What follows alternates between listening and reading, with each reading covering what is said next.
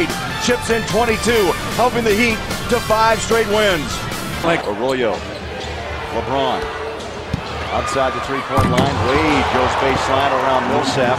Now, Dwyane Wade loves the baseline. He is tremendous on the baseline. A key to tonight is keeping him away from the baseline. Man share the ball.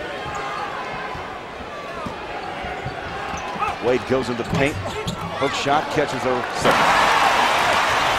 Back comes LeBron. D Wade on the breakaway. Jackknife it up and in. Ball's in his hand, so him coming off the screen as a two guard will still be able to find assists like just that play with Al Jefferson. Wade goes baseline. Continuation. Ronnie Price. 32 to play. First half. Miami 35 and the Utah Jazz 31.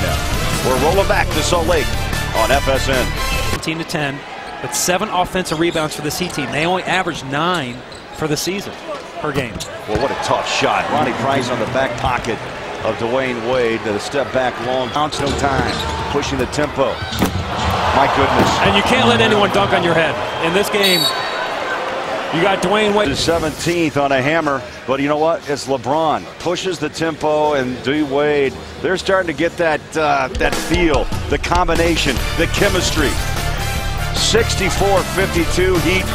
Again, with LeBron sitting, resting. D Wade three.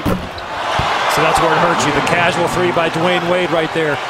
That's a six-point play. CJ misses his three. LeBron, or, uh, Dwyane Wade comes down and makes his three. When we come back. You watch Dwyane Wade right here. The casual jumper. You got to get up on him. Every possession counts right now. Jazz down seven early. By Bosh. D Wade straight away. 18 on the shot.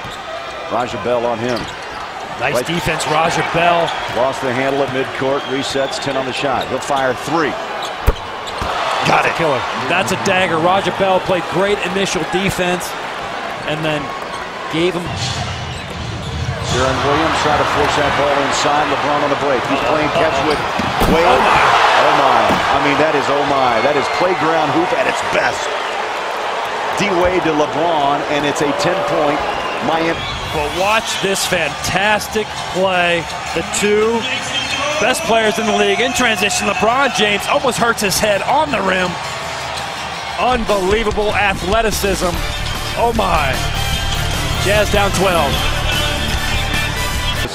Well, the Jazz are going to have to foul. They're going to take this. How about that move? And D Wade follows up. It's like, you know, seriously, it's playground. I'm going to the rack. 11 98 the final score. D Wade. Big game. Follow Jazz Lou.